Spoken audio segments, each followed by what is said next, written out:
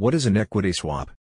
An equity swap is a financial derivative contract where a set of future cash flows are agreed to be exchanged between two counterparties at set dates in the future. For more information visit our website at www.assetservicingtimes.com.